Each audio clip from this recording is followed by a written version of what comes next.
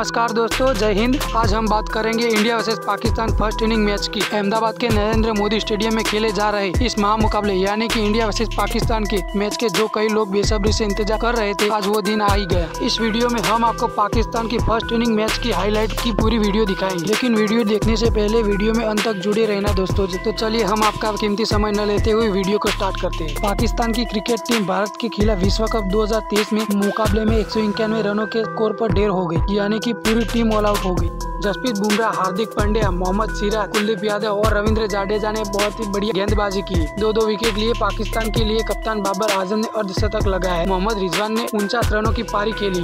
और बात करें, अच्छी शुरुआत की भुना नहीं पाएँगी पाकिस्तान टीम। पाकिस्तान ने पहले बैटिंग करते हुए बैतालीस पॉइंट पाँच ओवर में एक सौ इक्यानवे रन बनाए। टीम का पहला, टीम का पहला विकेट इकतालीस रनों के स्कोर पर गिर गया। सफीक बीस रन बनाकर आउट हुए। इसके बाद इमाम उल हक छत्तीस रन बनाकर आउट हुए। इमाम और सफीक के आउट होने के बाद कप्तान बाबर आज़म और रिजवान के दीवार की तरह बैठने की नाकाम कोशिश। हालाँकि इन दोनों ने टीम को काफ़ी अच्छे स्कोर तक पहुँचा दिया, लेकिन टीम की भुना नहीं सकती। बाबर ने बाबर ने अट्ठावन गेंदों में पचास रन बनाए, रिजवान ने फोर्टी रन बनाए, रिजवान ने पाँच चौके लगाए। ताश के पत्तों की तरह बिखर गई पाकिस्तान की पारी। बाबर और रिजवान के आउट होने के बाद टीम ताश के पत्तों की तरह बिखर गई। इफ्तिखार अहमद चार रन बनाकर आउट हुए। सादाब खान दो रन बनाकर पवेलियन लौटे। मोहम्मद नवाज़ चार रन बनाकर पवेलियन लौटे। हसन अली बारह रन बनाकर आउट हुए। साइन अफरीदी दो रन बनाकर नाबाद लौट रहे इस तरह पूरी टीम ऑल आउट हो गई। भारतीय गेंदबाजों ने किया बहुत ही बढ़िया, यानी कि बहुत ही घातक प्रदर्शन। भारतीय गेंदबाज भारतीय गेंदबाज अहमदाबाद में पाकिस्तान पर हावी हो गए। जसप्रीत बुमराह ने सात ओवर में उन्नीस रन देकर दो विकेट लिए। उन्होंने एक मैडम ओवर निकाला और मोहम्मद सिराज ने आठ ओवर में पचास रन देकर दो विकेट लिए। और हार्दिक पांड्या ने छह ओवर में चौतीस रन देकर दो विकेट लिए। कुलदीप यादव ने दस ओवर में पैंतीस रन देकर दो विकेट लिए। और रविंद्र जाडेजा ने नौ ओवर में अड़तीस रन देकर दो विकेट लिए। दोस्तों, आज तक के इतिहास में